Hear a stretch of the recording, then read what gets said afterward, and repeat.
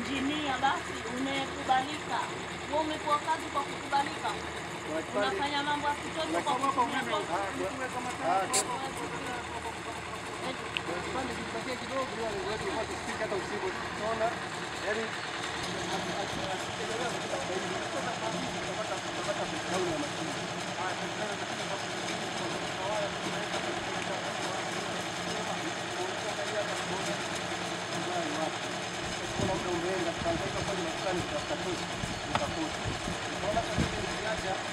Leo ndio Pesa iwe nyingi tukwenda kununua uwaya tu ukasema waya leo iwe mwisho. Sawa? Sawa. Sasa hivi ni saa ngapi? saa nne sasa hivi na robo. Sana Times zilivyoenda nyingi hivi. Eh, saa nne na robo. Yaani umenifanya mpaka na mimi niwe engineer nije usiku usiku sasa hivi. Pole. Pole sana. Hao wakazi wapi hao? hao hapa hapa. Huyu watoka wapi? Wakazi. Jengo bovu shauri zako. Watakao kula hasara ni wana micheweni.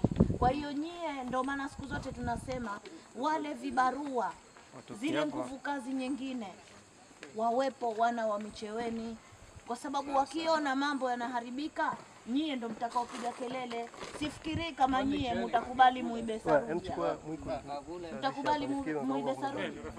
Alafu siku zote mimi nakuwa yule fundi yule, nyie mainjinia. wapo mainjinia micheweni, shirikiani nao. Sawa. wale wazawa. Sawa. kaeni nao mshare idea kama wanaokuja hapa kwenye hii hospitali, Sawa.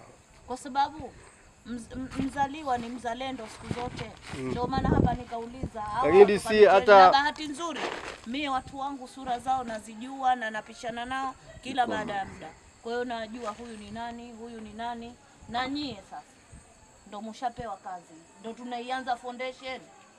Kwa hiyo ikitokezea uharibifu mdogo tu, mimi nakukamateni nyie. Mshanisikia?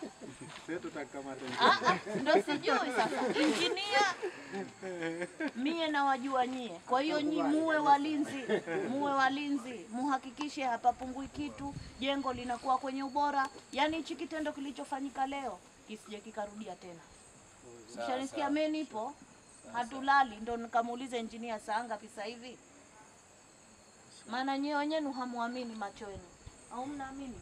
Ah, mimi naitwa Ali Ramadhani ni site supervisor mkandarasi na kaa engineer.